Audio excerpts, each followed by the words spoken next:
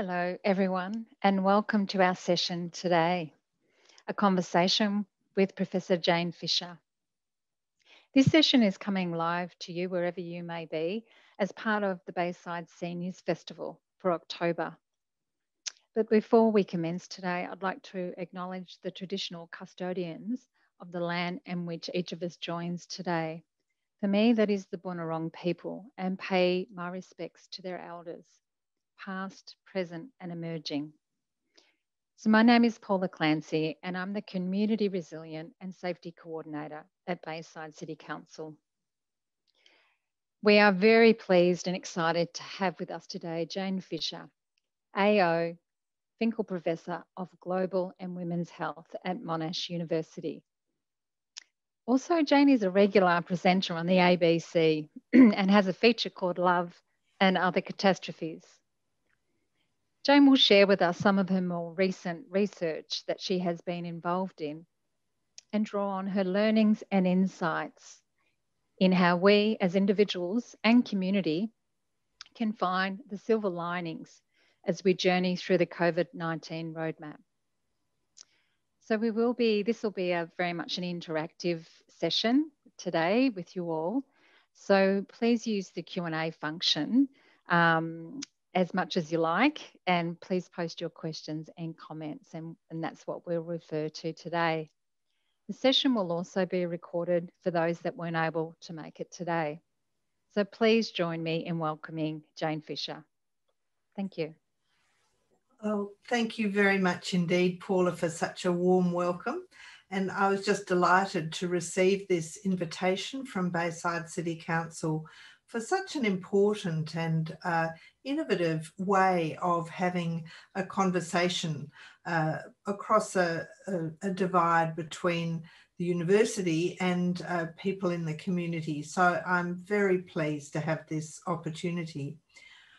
What I want to talk to you a little bit about uh, before we begin our conversation is some of the things that we've learned through our research recently to try and understand what the psychological consequences of the COVID 19 restrictions have been and what the implications are of these for our planning towards uh, a future in which we will be having to continue to consider the pandemic and its implications for all our lives. So that we know that we all had to make major adjustments to our lives to accommodate the essential restrictions to prevent spread of the virus. And these have consequences for our psychological well-being, our mental health, but of course they also interact with our circumstances. And at the beginning of the pandemic, the beginning of the period when we had restrictions imposed most severely in April, there were no Australian data that could be turned to for policy related guidance or for individuals to consider what might the implications be. So we, um, uh, with the research group I work with, decided to initiate a short survey that could be filled in by any adult in Australia over the age of 18. And we really wanted to understand how common experiences of low mood and pretty intense worry or anxiety were, how severely distressed some people might be feeling, but we also wanted to ascertain experiences of optimism and hopefulness. And then we wanted to know what were the experiences between the, the links between actually an experience of COVID 19, either having it yourself or being tested for it, or knowing someone who'd been infected with the virus.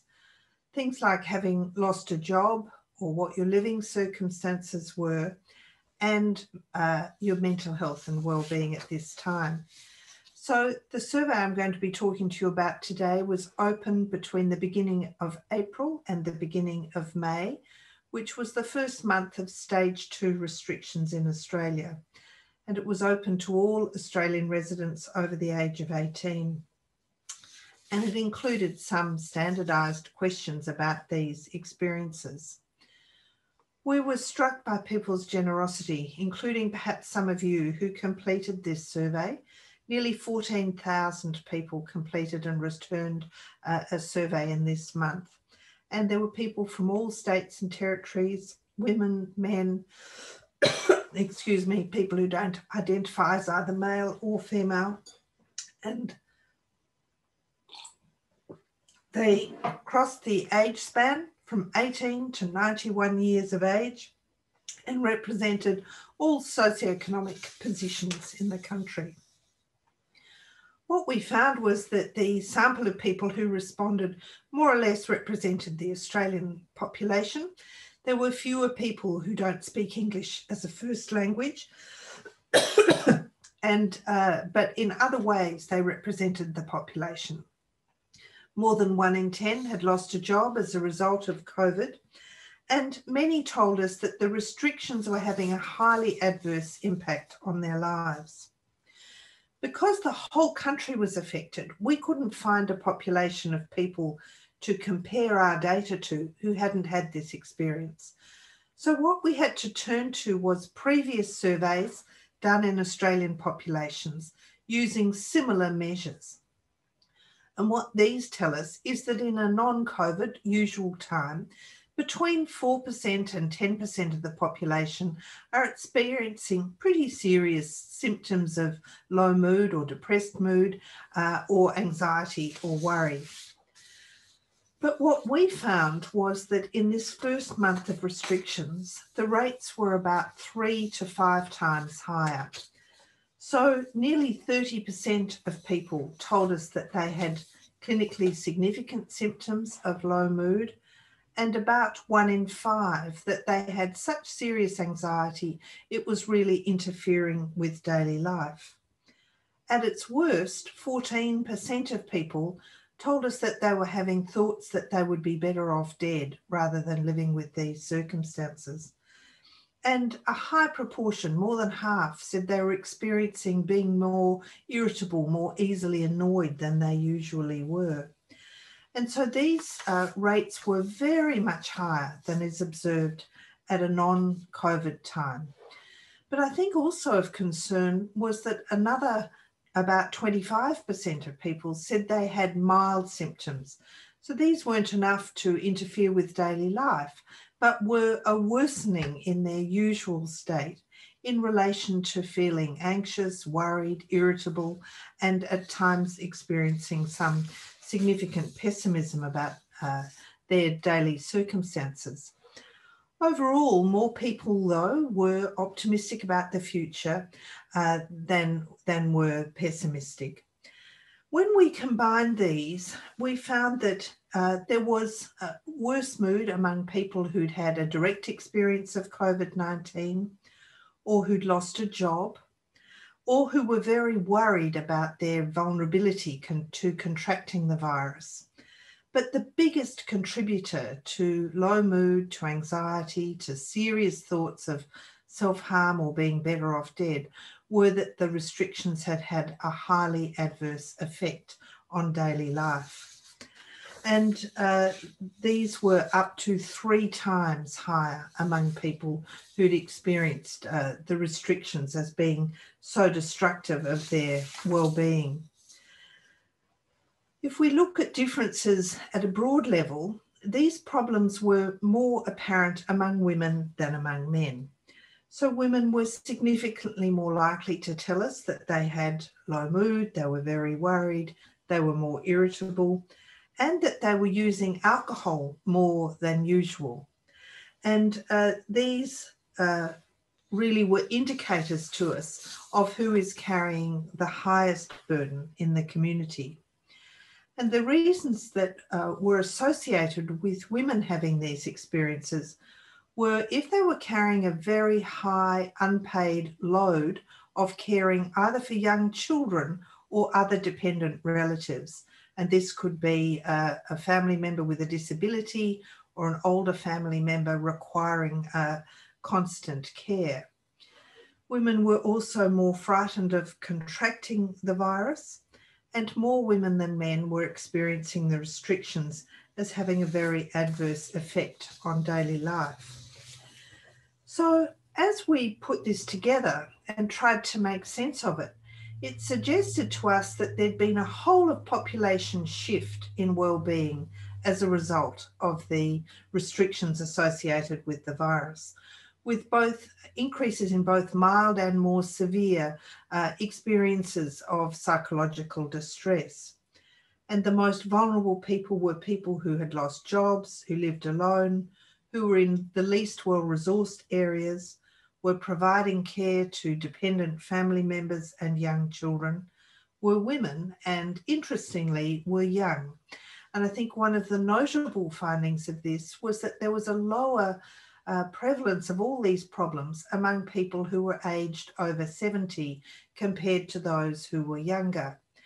And in making sense of this, we think that this is evidence of the maturity that's been accrued across uh, a longer lifetime, with older people knowing that life ebbs and flows, that difficult experiences can last a long time but usually pass, and that there are ways of uh, surviving or living with adverse circumstances uh, that uh, perhaps younger people have not yet had enough life experience to have um, acquired that wisdom. These problems are of significant public concern, though, because people with these mental health problems function less efficiently. They have less drive, less creativity, lower capacity to plan and organise, and less capacity to concentrate and to engage with others. But these are all qualities that are needed if we're going to recover well and function well as a society into the future. So they are of significant public concern. What I think is important, what I hope to be uh, able to engage in a discussion with you about, is I don't think it's helpful to bring a psychiatric framework to understanding these problems. Some of them are undoubtedly severe and will benefit from individualised forms of care. But I think it's better for us to conceptualise these as a normal human response to a very abnormal circumstance. And that this circumstance has challenged us all it's challenged our individual capacities to adapt to change, to adapt to unwelcome uncertainty. But it's very much altered our capacity to interact closely with others and our opportunities to engage in purposeful and meaningful activities that are very much at the heart of having life satisfaction. We know that anxiety is usually increased in circumstances of uncertainty, especially when there's some degree of risk that's uh, pervasive and uncertain, and where there's uh, no end point that is obvious that we can know that by a certain time it will be over. What the social theories of depression tell us is that we're most likely to experience low mood in circumstances where we feel trapped and humiliated. And I think it's not difficult to imagine that someone who, that we all felt confined and we were confined, but how much worse that is if the confinement is accompanied by loss of job, loss of connection, things that can make people feel less valued and worthwhile. So I think a wider conceptual framework is important. There are a couple of ideas that I think are useful as ways of understanding this. One is the notion of what's called disenfranchised grief. We know that when we're bereaved, there is an obvious event that has occurred, and there's usually some public acknowledgement of that others recognize it, and there can be ceremonies or rituals that accompany that loss. Disenfranchised grief is the term to describe experiences of loss for which there's no public recognition and no rituals. So, if a person has lost a job or lost a capacity to have regular connection with others, or if they've lost the services that assist them with their daily work of caring for dependent family members or young children, or they've lost access to really prized and precious relationships and opportunities, then these are significant experiences of loss, but they're not visible, they're not easily recognized or named.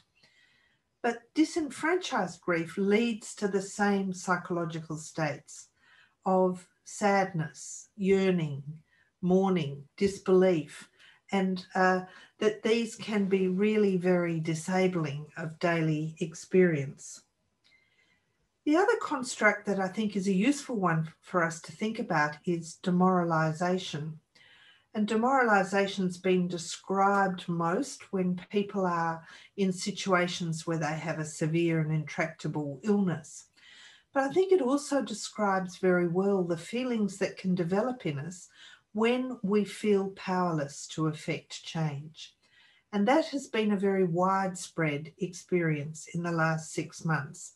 When there are things we would like to do, we would like to be able to act on, we would like to have autonomy to influence, that we're unable to do. And that these experiences, I think, contribute to a sense of being dispirited, defeated, uh, really not knowing what might be the way ahead. But it's also very important to reflect on the opportunities that this experience has provided. And there's no doubt that probably for each of us in some way, and for some people to a very large extent, this much quieter way of living, more restricted way of living, has indeed had silver linings. People talk about enjoying the sense of being less hurried, less fraught, not having to engage in commuting, the constant hurry of managing an office or external life. The, the uh, blessing of being able to spend more time on domestic and private pursuits, perhaps even of being more reflective, more appreciative of what life uh, can offer. So these are the things that I would very much welcome an opportunity to talk with you about. As Paula said when she was introducing me, I've had the privilege for the last nine years of being a guest on ABC Melbourne on the Drive program with Rafael Epstein on a Monday afternoon. We call the program Life and Other Catastrophes and it never continue it never uh, stops surprising me that almost any topic that is suggested that we talk about touches someone in the listening audience and so it's become an opportunity where topics of wide public interest are discussed and where members of the listening community ring in to talk about their experiences or to uh, engage in some form of discussion. And then what we hear a lot of afterwards is that others were so pleased to hear about that experience and it had resonated with them or it had had some meaning for them. And so, what we hoped was that we could move now to some questions and discussion with the many of you who have generously joined this uh, session about what your experiences have been both silver linings and difficult experiences, what solutions you've come up with, what ideas you have to suggest to others and to the wider community as we all begin to plan our way forward uh, beyond the immediate COVID restrictions. So I look forward to having a conversation with you. Wonderful. Thank you for that, um, Jane. And um, such telling data. Um, you know, as you've sort of highlighted, such a whole of population shift in well-being has occurred. Um, so, so really, thank you for sharing those those insights. Um, with the research itself, was that able to be accessed um, by people? Look, it, it certainly is. Some of you will be familiar with the vagaries of having research data published, but I'm pleased to be able to tell you that the Medical Journal of Australia will be publishing these data. They keep assuring us it will be next week, next week, but I think it will be soon. And it is available on the MJA website as what's called a preprint. So if you go to the MJA website, and put in my surname, then a preprint of the paper is available as a PDF document, and the proper published paper will be available, we hope, very soon uh, mm. through the Medical Journal of Australia. Yeah, wonderful. Thank you, Jane. And um, as we were speaking, we've got a number of questions coming through, which is wonderful. So, um, so we've got uh, uh some of some members of my family have increased their alcohol intake, and I am a little concerned that this has become a coping me- mechanism for for them. Um, sort of any mm. advice mm. um, or thoughts around this issue? Mm. Well, look, I think it's a very astute observation. And in fact, we asked in the survey, are you drinking more than usual or using alcohol more than usual? And about a third of people said they were using alcohol more than usual. And I think what struck us is that this was very closely aligned with people saying they were experiencing a lot of worry and low mood. So it does seem that it's being used as a self soothing, self comforting mechanism. But that doesn't mean that the hazards of alcohol use disappear. And the hazards, of course, are for your own health. But I think one of the other hazards that has been discussed in the paper is that it can lo- lead people to lose their temper more readily. And we have been hearing about you know more problems with family arguments, family violence, and we know that alcohol can contribute to these. The other thing we know is that if people are out socially and drinking alcohol socially outside, they tend to drink a little less than they do at home. So the the, the constraints on having that extra glass, the extra drink, are lower outside than they are at home. So I think um, it's good that you're uh, observing this among your family members, it's one of the very difficult topics to raise. So it might be that you could use this talk to say to them that you heard that this was a problem for many people in Victoria, and is it a problem for them? Because it is a difficult thing, I think, to comment on people's uh, use of alcohol when it seems to be excessive. But it is really important to remember the safe drinking guidelines, which really tell us we should not be using alcohol every day and we should be using it in quite modest amounts. Hmm. Thank you, Jane. Um, another question here has come from one of our participants. I, um, I did the free Zoom training through Council, which has enabled me to attend this session, which is fantastic. Um, I encourage anyone listening to take up the opportunities to do technology training um, whether through the local council, libraries, U3A, or through family and friends. And they finished saying, learning how to go online has opened up a whole new world for me, and I love it. Well, what a what a mm. marvelous story to hear. And that is one of the things that has definitely emerged from this is that we have been able to maintain connections, productivity, and links through what modern technology uh, makes available to us. But for all of us, we've had to step up, I think, into technologies we might not have been familiar with. So, first of all, I'm delighted to hear that Bayside actually offers people opportunities to learn how to use these, but to, to become familiar with using Zoom, to be able to use it to link with, with friends, and with the multitude of webinars learning opportunities, I, I think is just a really purposeful activity to do. Mm. And certainly my book group, which is a Bayside book group, we've been meeting via Zoom, and I think it's it's been very important to maintain that connection. Mm. Fantastic. The um, another question in here, Jane says the COVID pandemic has seen a decline in older people visiting their GPs and getting routine pathology tests. Um, my 80 year old father is one of those people. How can I convince him that it is safe to attend me- medical appointments? This is a very astute observation, and I think there's there's widespread concern in the medical community that people are not getting the routine checks, the pathology testing, the regular testing, but also they might not be attending a hospital if they're experiencing uh, severe symptoms. And it does seem that uh, it, people are, are fearful of going to a clinic because they might contract the virus.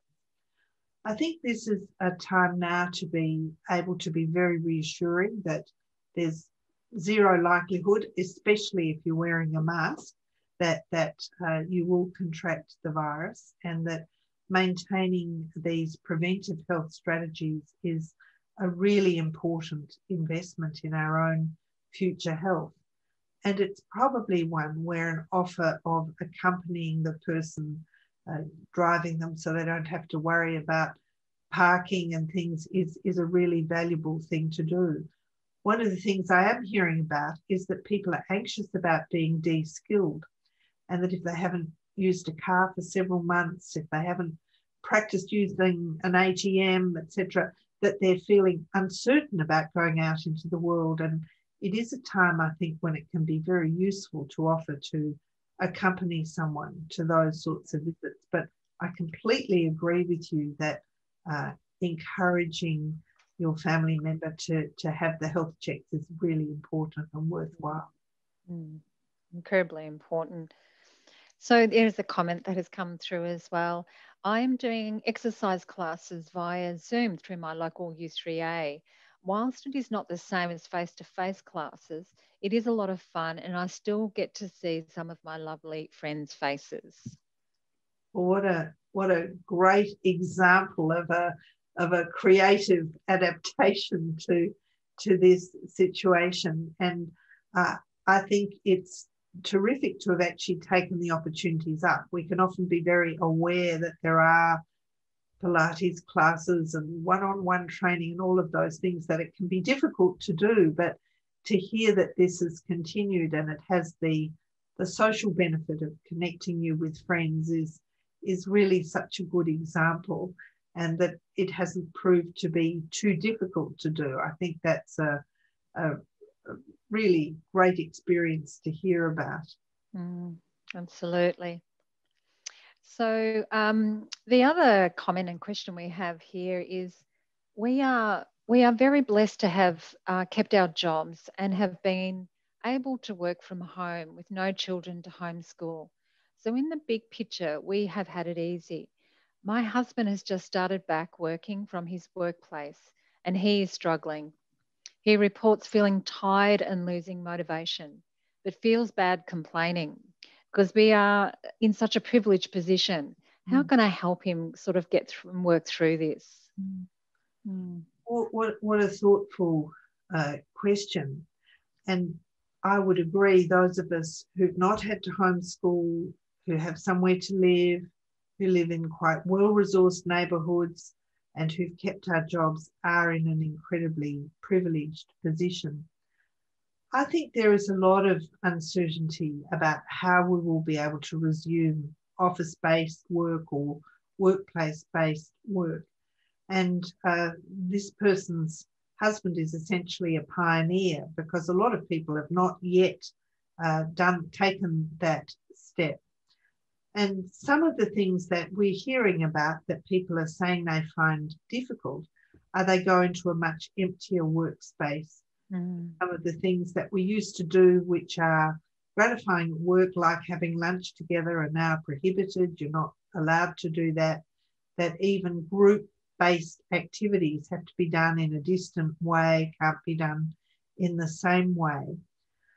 I, I think one of the helpful things uh, to do is to uh, encourage people to initiate what they can do. So uh, it might not be possible to eat lunch together, but there are other ways of uh, connecting with colleagues and keeping them included.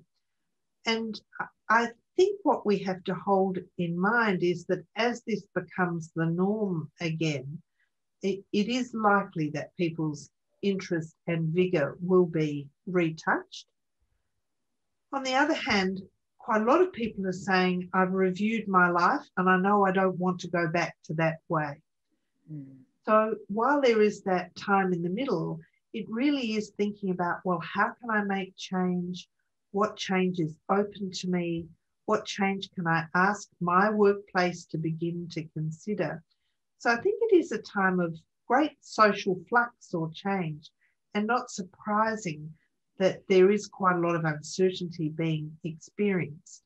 But we usually feel better when we can grab a little bit of agency. So perhaps having a conversation with him about what he would like his future to look like in terms of combination of uh, work and private life, and to see whether that can be planned towards. Mm, wonderful. Some of my friends are extremely nervous about COVID 19 and are reluctant to catch up in person going forward. I am worried that connecting with friends in person will not be as it was before the pandemic and may leave me more isolated.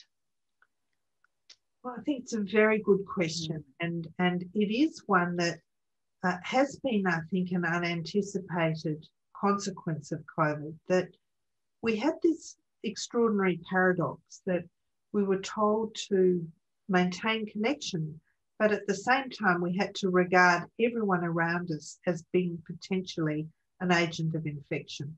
So there was this extraordinary mix of having to be suspicious of everyone even when we wanted to be near them. So it really disrupted our accustomed way of interacting with others. And I think we are going to have to maintain a degree of caution, at least until we have a vaccine or until the, the virus really seems to have diminished, which at present is not the case. So I think it's important not to avoid the social connections. They remain as valuable as ever, mm-hmm. while accepting that they will be different. Having a close conversation through a mask is more difficult. Not being able to hug someone you would usually have hugged is more difficult. Mm. But the conversation is still worth having. The opportunity to connect, if you can, is well worth having. Mm. So um, I recognize what's being described, but I think it is something where we've really got to persist and re engage again as well as we can. Mm. Yeah. Uh, one of our participants in the audience are as interested. Can you share some of the things you have done to help you get through the current restrictions and the environment? Well, uh, as I said before, I'm, I'm enormously privileged in that I have been able to continue my work. So uh, I, am a, a full time academic. I work with a research group of um, interesting, committed people. And thanks to Zoom, we are able to maintain regular connection and purposeful activity. And while at times that feels too much, as though there's not a minute between uh, meetings and uh, deadlines, it, it has been uh, for me very valuable to be able to continue that, to be able to continue the radio program because there, I have a special thing called a journalist's tie line that allows me to, to ring in to the program. I've missed being able to see my children very much, and I'm not alone in that. I know that others uh, feel that very keenly. Um, and that is something where I find a, a, Zoom conversation is good, but no substitute. So um, I'm also privileged that I don't live alone. And so uh, I have uh, very much benefited from uh, my husband's generosity and patience. He's retired, but he has continued to uh, manage our household and take good care of me. So all of those things have uh, really benefited me and have I'm, I'm privileged to receive them. Uh, I do try and walk every day. I'm not a, a, good exerciser, but I look forward to going back to the Pilates classes that I've uh, enjoyed. And I think that mix of things has uh, enabled me to continue to feel purposefully engaged and optimistic about the future. And I've really enjoyed my Zoom connections with friends when they're possible. Mm, thank you. Thank you, Jane. Um, another question here. Understand we have all been impacted. As an, obser- uh, as an observer, observation working in aged care, the impact of the lockdown on elderly single men who have had their social outlets closed, such as you know pubs and TAB, has been quite significant on their mental health. Look, I think this is a very, very accurate observation. I think uh, people living in residential aged care who've had to experience um, very extreme forms of lockdown where they've been prohibited from in person visits. And I know these have eased now, but they've had long months when they couldn't have those. When even the um, activities within the aged care facility, the lifestyle activities have been shut. So people have been living in very isolated circumstances. I think this has had a profoundly adverse experience. And often uh, these are people who are not confident with technology and have not really been able to adapt to replacing in person connections with uh, Zoom and other connections. And stereotypically, and I think this is what our correspondent is saying, uh, women are more able to maintain social connections and have more natural confidence and facility. And men have often relied on their female partners to maintain that. But here, uh, elderly single men, I completely agree, have been left very vulnerable in this situation to extreme isolation and I think they should be a priority uh, whose needs should really be addressed very directly um, as a matter of urgency, really, from now forward, so that their isolation, their sense of mystification, that's what's happened to them, the lack of engagement socially and uh, for, for other enjoyable activities is, is really um, a, a very urgent priority. So I'd endorse the observation of that question. Yeah. Um, so Jane, how how can we support our young people, especially grandchildren, navigate the uncertainty of the future? Well, again, a, a, a wonderful, thoughtful question. And uh, for young people, I think they have not had a prior experience of difficult adversity to call on.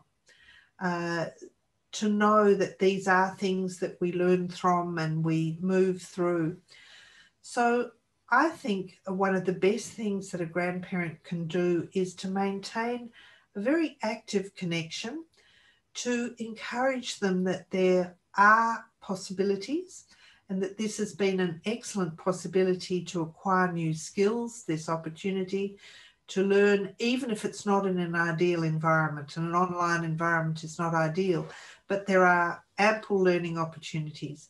And to take this opportunity to acquire skills that will be then available to them when jobs open up, when the future becomes a more optimistic one. But nothing replaces, I think, the value of initiating, reaching out to a young person and initiating a connection with them. And I, I, think as grandparents, this is something of immense value that we can do. And also to reassure them that uh, as you move through life, there are periods where you feel lonely, isolated, as though what you want to have happen is not available to you. But if you can keep going through those times, uh, almost always, I think really always, they do resolve in some way and a new door opens. So, one of the lessons I think we all have to learn is that um, disappointments are an unavoidable part of life, but they always represent a new opportunity. You sometimes just have to wait for that new opportunity to reveal itself.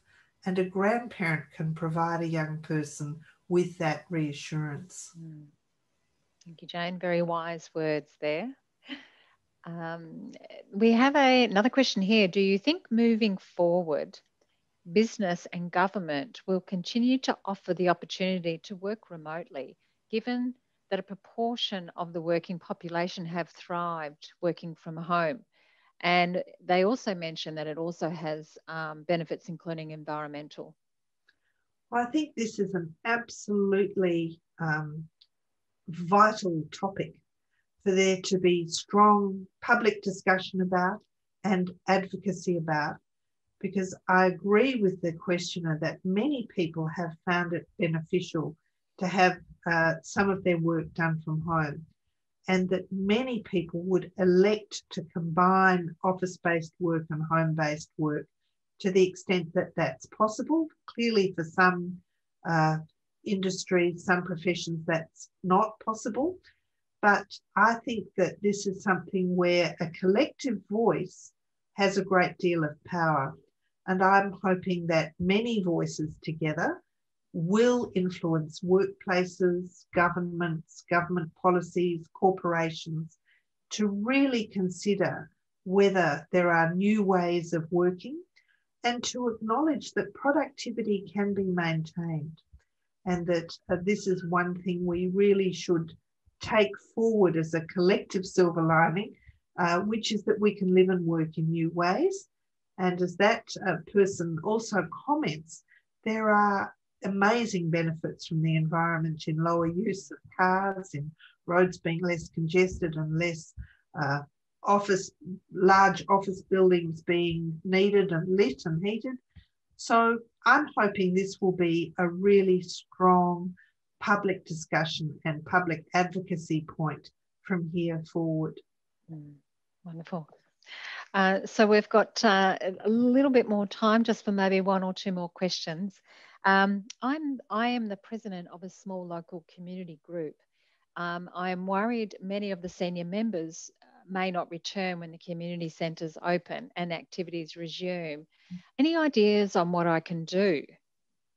Well, uh, thank you for the work you do as president of a community group because these are really the bedrock of um, our society to have community groups who are building and maintaining links and relationships with people who live near each other.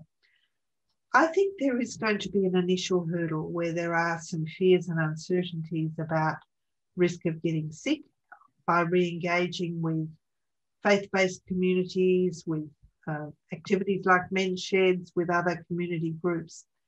But these are really going to be crucial to our recovery.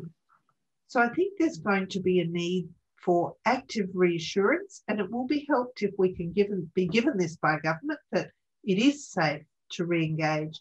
And how do we re engage safely? Do we have to sit distantly? Do we have to wear masks? Must there be limits on how many people uh, can be there together? But that the benefits of doing it really outweigh the risks. And I think um, there's great power in individual stories. So to get some people to come back and then to get uh, those people to connect with others and say, look, it's fine and I enjoyed it and come back with me next week. Hmm. Yeah, very good strategy, Jane. So um, I think we've come to, I think they're all the questions um, that, and thank you everyone in the audience there who did present those questions. It's really, we really appreciate those for the conversations. Um, I'm just going to have a look. I think, um, I think we will, uh, if you've got any final words, Jane, before we finish up. Well, um, I, I really uh, do appreciate very much this opportunity. I regret that we can't see each other. Uh, I thank you very much for your thoughtful interest and engagement with this. Uh, and I know that is, it is through being well informed about our own needs and the needs of others that we're going to be able to recover a, a psychologically and socially healthy community in which people will continue to flourish. So, thank you very much for inviting me. Yeah, you're so welcome. Um, so, uh, we really would like to thank you, Jane, for your time today. You've been incredibly generous with your insights and, and your wisdom, um, and also for sharing the latest research for us and making that available or, or, or showing us where that where we can access that as well because I do think um, some of the recommendations or suggestions that's come from that research can really assist um, individuals, but also, you know, organisations working in this area to support community going forward. We'll give them some insights and ideas about how they might plan for that recovery phase as well. So on behalf of our team at Bayside here and also the audience, Um, thank you so much for being with us Thank today. having me. Thank you. And should people like to find out um, any more about the Bayside Seniors Festival that is coming up, we still do have a couple of weeks to go. Um, you can go to the Bayside City Council website, um, and that'll take you directly to all the programs that are still available. And also, should you want to follow up with any of the um, accessing any future pro, uh, activities or programs coming up, you can email the Healthy Aging team or contact us over the phone. So once again, thank you and have a lovely afternoon.